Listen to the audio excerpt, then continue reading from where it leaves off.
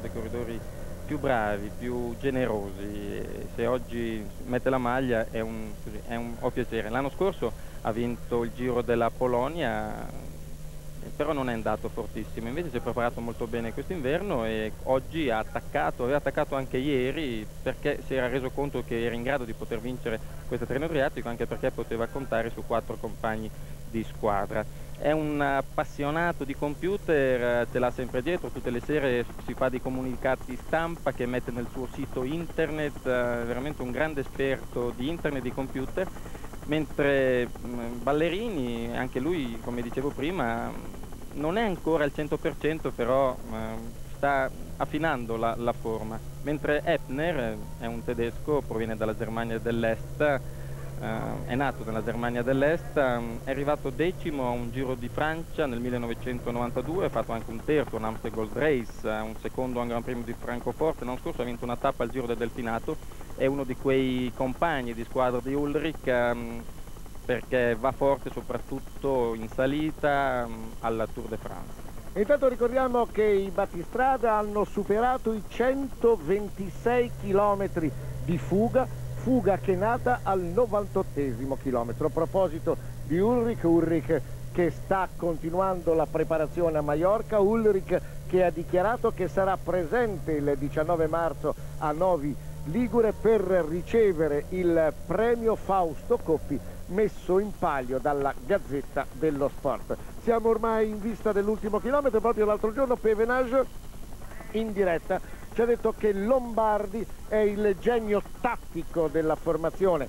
Tutte le tattiche della squadra sono organizzate, studiate, portate a termine da Lombardi. La situazione, ripetiamo, al termine di questa sesta tappa che ha sconvolto la classifica generale della 33esima edizione della Tirreno Adriatico, tappa dall'Abruzzo alle Marche, 224 km, tappa iniziata con la sfortunata caduta del campione del mondo Brochard costretto al ritiro con l'attacco di Sørensen che ha poi scatenato la reazione di Richard, Jerman, Duran, Jecker, Ballerini, Bontempi, Lombardi e eh, Eppner nove uomini al comando con Sironi, nove uomini al comando ridotti poi a sei perché hanno perso contatto Duran, Bontempi, Sironi poi Richard ha perso anche lui contatto, allora a un chilometro dalla conclusione testa a testa per lo sprint finale, per la vittoria parziale tra lo svizzero Jecker in prima posizione, difende i colori della formazione francese della Festina, in seconda posizione Lombardi con la maglia bianca che difende invece i colori della tedesca Deutsche Telekom, hanno un vantaggio di 40 secondi nei confronti del terzetto che appunto vedete ora a un chilometro, terzetto che invece è interessato alla classifica generale. Domani una settima tappa circuito di Civitanova Marche, la penultima tappa della Tirreno Adriatico, circuito di Civitanova Marche di 164 km.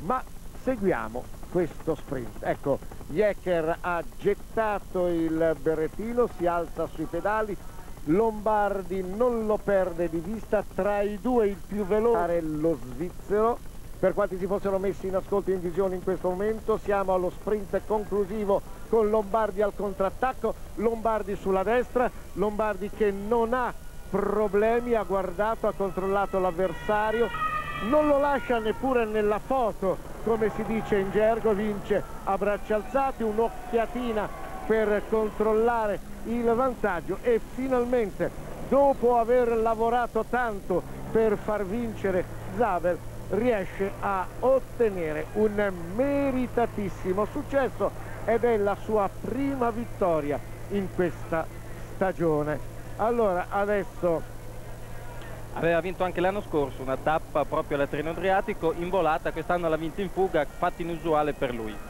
Allora, quanti secondi ci sono ancora in palio? Un secondo Un per secondo chi vince la volata. Solo e se lo aggiudica Ballerini davanti a Deppner e Jerman. Pertanto la nuova classifica generale il leader è lo svizzero Rolf Jerman con un vantaggio di 4 secondi nei confronti di Ballerini e di 54 secondi nei confronti di Epner.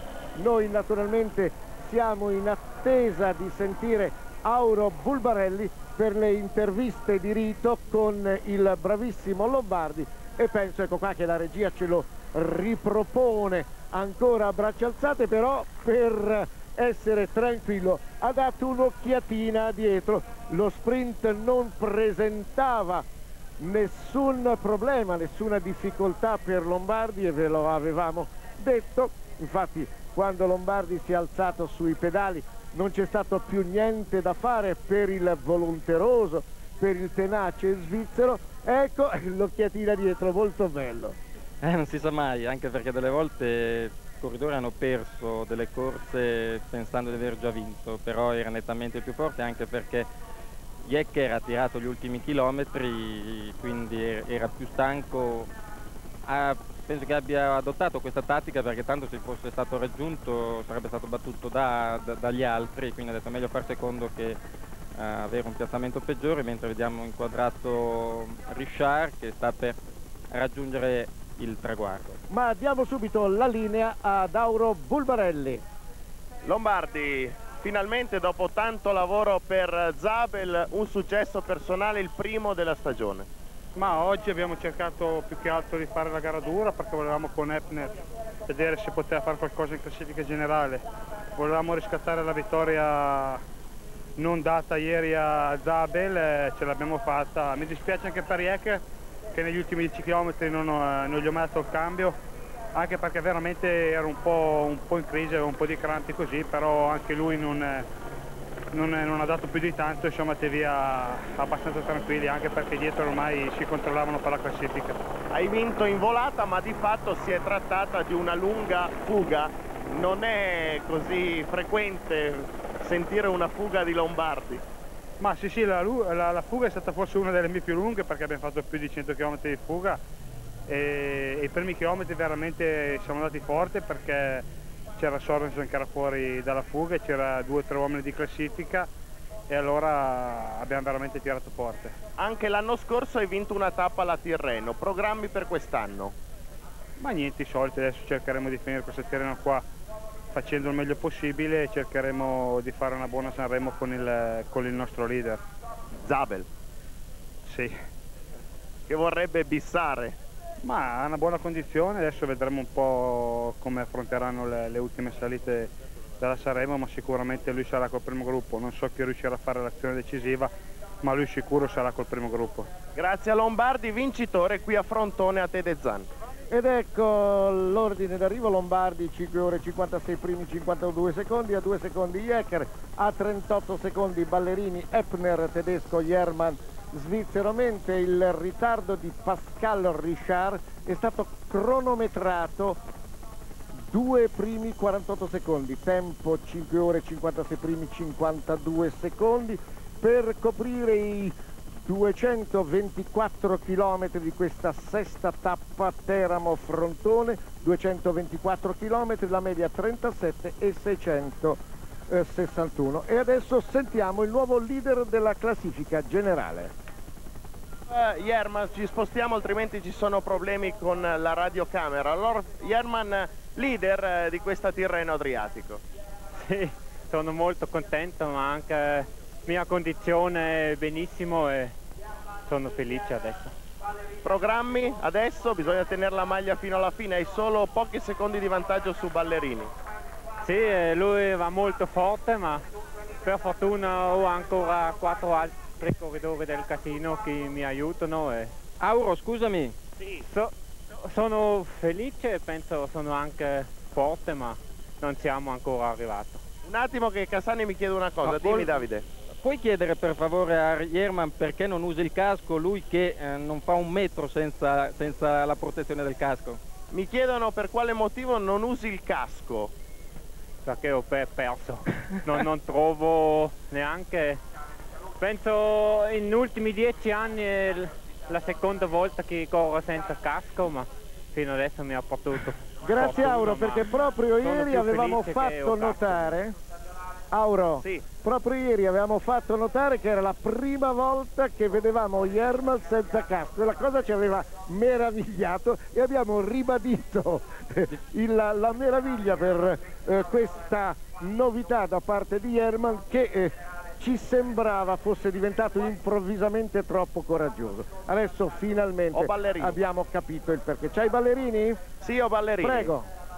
Franco, secondo posto in classifica, poi ieri è stata comunicata la formazione per la Sanremo della tua squadra e tu ci sei.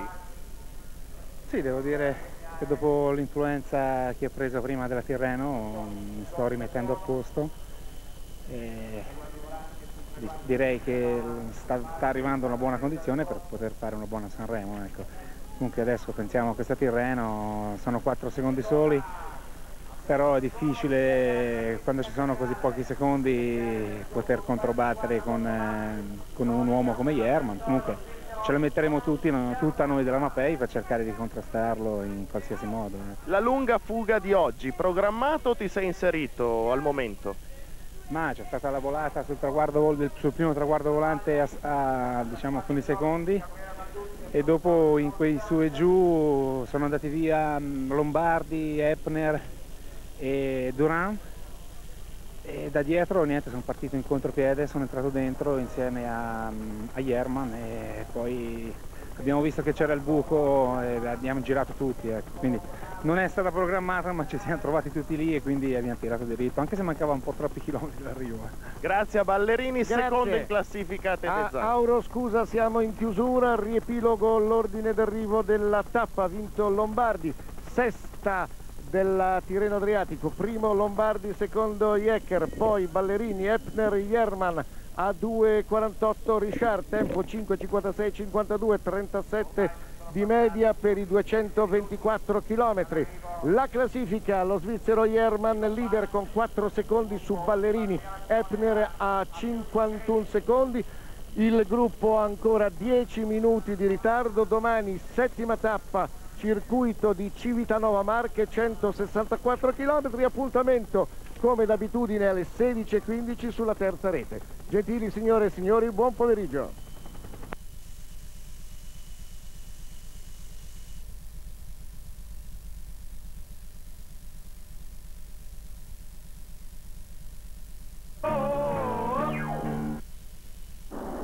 Siamo qui al Gromen per la tanto attesa prima di Casper il Coraggioso. Ed ecco J.J. Fromberg, il capo della produzione che ha strappato Rudy Montague al suo deserto per portarlo nella cavalleria degli Stati Uniti. Funzionerà il suo piano?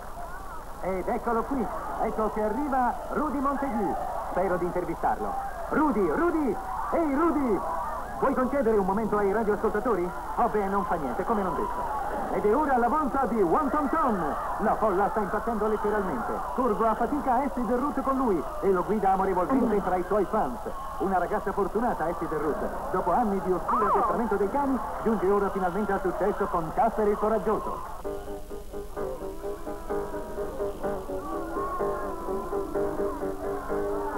E invece te lo meriteresti!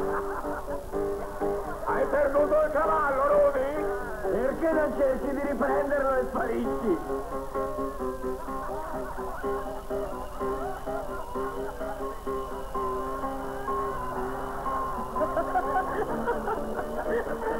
Ma dove è finita la cavalleria? Qual è il cane dei due?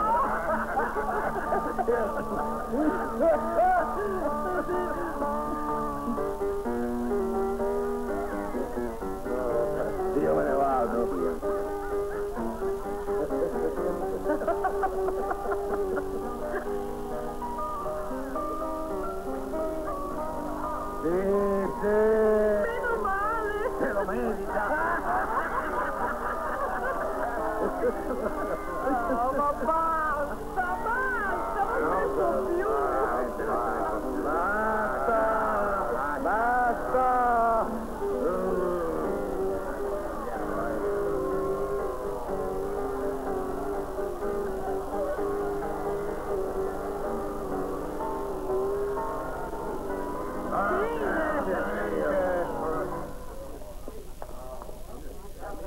Licenziato come regista. Lei ha finito la sua carriera. Lei può tornare nel deserto. Tu puoi andare al diavolo. E te ti disconosco come fratello. Ma papà, cosa dirà? Non voglio sapere quello che dirà papà. Io vi faccio causa! Non potete venire qui alle 8 del mattino e sequestrarmi i mobili come se niente fosse! Paghi i debiti allora! Grayson! Mettetemi giù! Sono un'attrice del cinema! Sono un'attrice dello schermo! Ma è una grande stella! Io sono una grande stella, capito? E posso farvi licenziare tutti quanti! Una grande stella, non me lo dica amico, visto sì. Cosa si deve vedere? Cosa caricare, muoversi!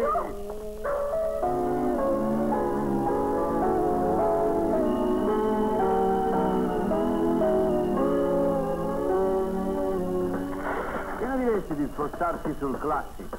Eh.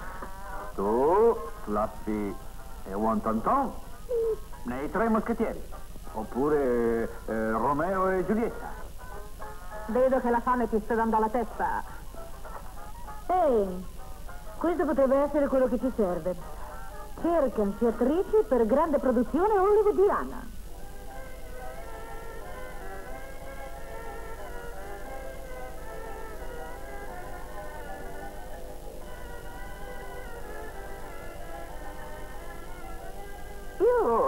Credo che stia andando bene, non vi sembra?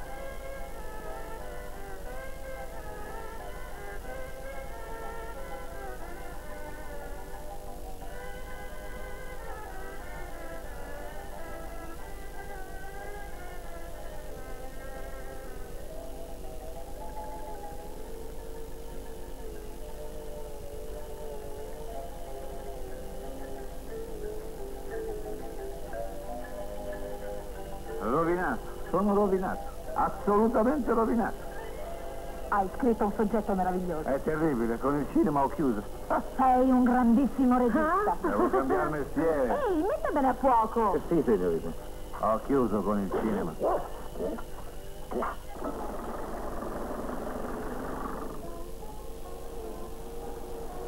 È una cosa facilissima. Tu chiudi gli occhi e immagini che lui sia alto, bruno, altante. Può darsi che sia veramente alto, bruno e altante. Allora riapri gli occhi e cerchi di divertirti anche tu. Siamo fortunate, coraggio. Provaci tu. Oh, bel ragazzone, ti vuoi divertire un po'? Le 10 e No, 30. non è questo, è che io, vede, sono una prostituta. Cosa? Sono una prostituta. Cosa? Sono una prostituta. Ah!